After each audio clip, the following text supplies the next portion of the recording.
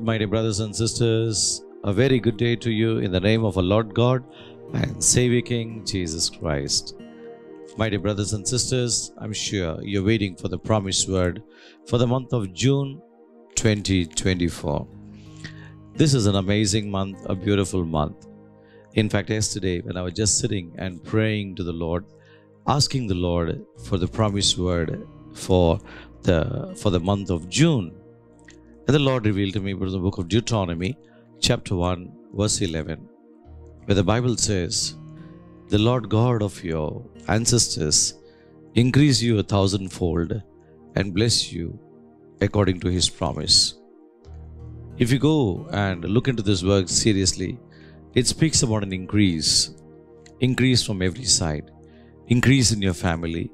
Okay, that is maybe from children point of view. Somebody who does not have children in the family, they'll be blessed with children. The women will conceive. Then increase from other aspects of life with regards to finances, prosperity, success, victory, day to day life, personal life, career. You know, everything is a blooming time. You see, in most of the parts of India, this month of June is the rainy season, the beginning of rainy season. And uh, it's going to really rain well. And at the same time, you see, as this rain hits the ground, uh, and a little few, uh, a few days time from then, you know, it starts slowly. You see, uh, things start blooming, or you start seeing things shooting from the uh, face of the earth. You see some growth happening, greenery coming all around the place, and it's like very beautiful and amazing. Today, my dear brothers and sisters, God is speaking about an increase in your life and my life. God is speaking about the increase that He has got in store for you and for me. An all round development. God is speaking about all round development. At the same time, He speaks about the promises or speaks about the blessings that He has promised to our ancestors. If you look back in the Old Testament, you see how God promised Abraham, God's promise to Moses, and especially God's promise to Abraham was amazing.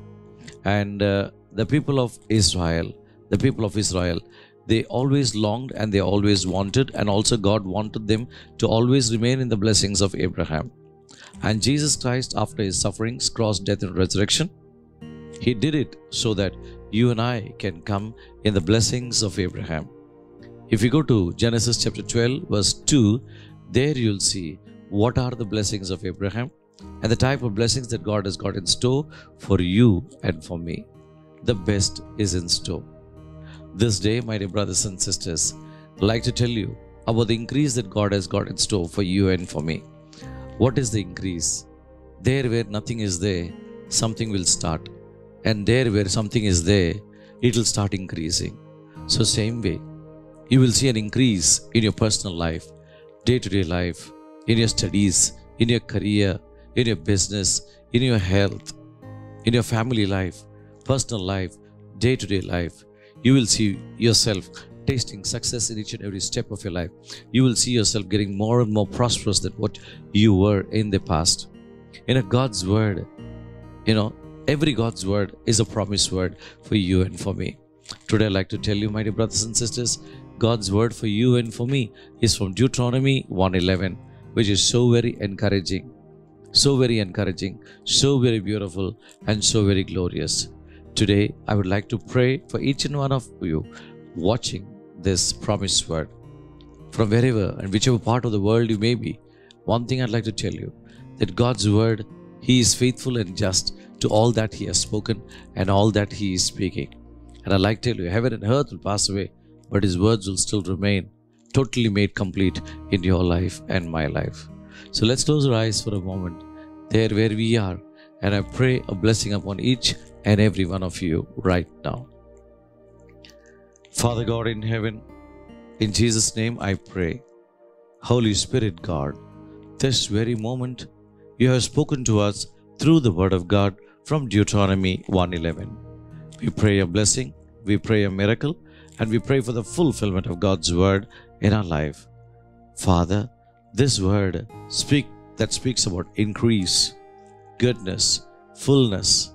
Father, we pray let this word be made complete in this month And before we can cross over to the next month, let every plan you have had for us for this month be made complete in our life. Help us to be faithful to your word, in word and in deed, and in every step of our life. Help us to move in the directions in which you want us to move. In Jesus' name we pray. Amen, amen, and amen. My dear brothers and sisters, you have received your promised word, and I'm sure God is faithful to his promise. Let us be faithful to our commitments and that what God has told us to do and that what God wants us to do. Just a reminder, I'd like to tell you, my dear brothers and sisters, today is the 1st of June. And I'll tell you one thing get your tithes, get your offerings ready, go to your respected churches, go to your respected pastors, hand over the tithes, hand over the offerings on time. Don't delay and don't say, I will do it tomorrow. I'll do it day after tomorrow, maybe in the days to come. I have a few bills to be paid and then I will do. No. Place God first in your life. Do all things that you need to do. Do it on time so that your blessings also reach you on time. And also another reminder, our program that was supposed to be in Gomanth Vidya Hall on the 2nd of June is postponed to the next Sunday. It's postponed to the next following Sunday, which, if not mistaken, is 9th. Okay, so come and be a part of this program on the 9th of June 2024. Come and be a part of the program in Gomanth Vidya Hall, and all other programs of ours continue as usual because uh, we have just got getting we are just getting started from today onwards from uh, BM Hall in Margao. Another beautiful reminder is that, my dear brothers and sisters, the election results will be soon in another few days' time in India. So pray, pray for a miracle, and also pray that the leader that God has got in store for India be elected, be chosen, and come in power and reign from the throne in Delhi. Okay, so just pray to God. Just pray to God. You know, it's not that uh, you, your words and my words have created a major impact unless and until God has decided. God has not decided who should be our leader. We won't have a leader. So let's pray to God and ask God and tell God, God, the leader that you have in store for us, you know, come there up at the center in Delhi and then rule the country from there. And we pray for all our MPs, all our leaders, and all the people uh, who will be expecting their results uh, in uh, of the forthcoming election of these elections that was held. all those people will be expecting for the results. Let's pray that the right people whom God has chosen, the right people whom God has wanted, come in power and rule the country. So, just to inform you, small information get started. This time is a time where people will be busy for children's admissions and schools this, that, buying, shopping with regards to children's education. God bless you for everything that you're doing.